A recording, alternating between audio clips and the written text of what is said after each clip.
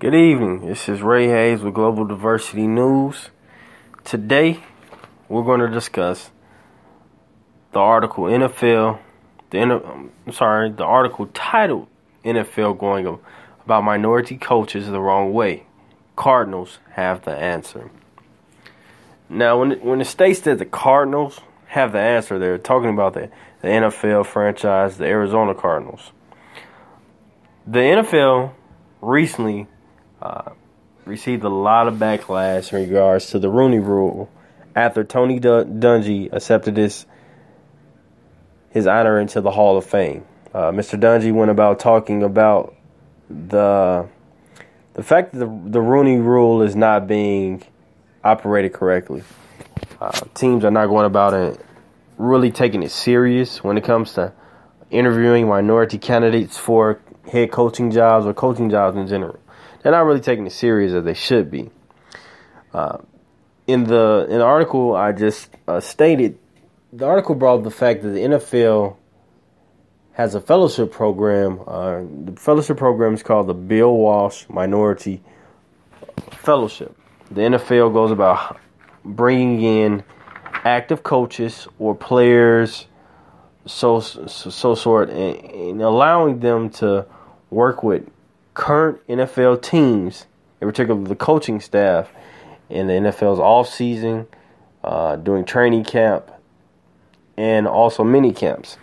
So they have these people come in. They're working with them to to go about understanding what it takes to be an NFL coach, and allowing them to see if they would be interested in gathering this. I mean, going about one day becoming a coach themselves, not not particularly a head coach, but just uh, assistant coach or anything, but actually working with uh, working in the NFL as a coach, and that uh, perspective. Uh, one thing that pointed out is that, which I find kind of odd, is that in the NFL currently, the off-season schedules have changed. So the off-season schedule is very minimal. So with that being said, how could a, a candidate interested in one day becoming a coach in the NFL really get the effective benefits of attending off-season programs or mini camps when their their majority majority of have been uh, like I said minimized. So they don't have a full schedule to actually learn about these skills and understand what it fully takes to become a coach in the NFL.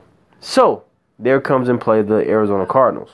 The Arizona Cardinals uh, went about developing a program where they're giving minority candidates the opportunity to see what it takes to work in the field. Now they're still going about following some of the rules uh, with the Bill Walsh Minority Fellowship. However, they implemented their own rules, which have been very effective. Uh, the fact that they, we all know, like I said, the, the, the, since the schedule has been minimized, there has to be opportunities where these candidates or applicants have opportunity to learn outside of the, the, the training camps or the mini camps. So the Arizona Cardinals, which I applaud them, went about starting their own ways and figure out how can we give these applicants a better opportunity to, to, to go about finding what it takes to be a coach. So Bruce Arians and the Arizona franchise, I applaud you for thinking outside of the box, quote unquote, because the box is not that narrow. The NFL understands that. Well, NFL knows that if you're a college active college coach, but you are interested in joining an NFL team, you have a schedule outside of the the training camps the NFL have. So you may not be able to attend these training camps with the NFL because you have an active job with the college with, with a college team, and the college schedule was just as intense intensified as the NFL schedule. So, in order to get more minority candidates in the NFL, the NFL has to think outside of the box. They have to and go about using their common sense.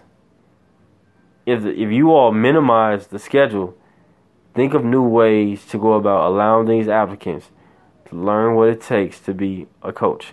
Now that means allowing these applicants to work possibly during the playoffs. I mean, going around following the training staff. But you have to think of other ways if you minimize the schedule because they're not getting the full benefits of working. Working with the coaching staff to see what it actually takes. You, you see a marginalized form of what it takes. So, with that being said, I want to thank you all for listening to the, the our mini podcast uh, with GDN News, Global Diversity News. Please follow us on Twitter at GDN Network. Subscribe to our YouTube channel, Global Diversity News.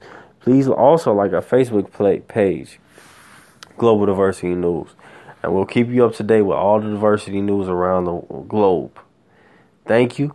Once again, this is Ray Hayes. You all have a good evening.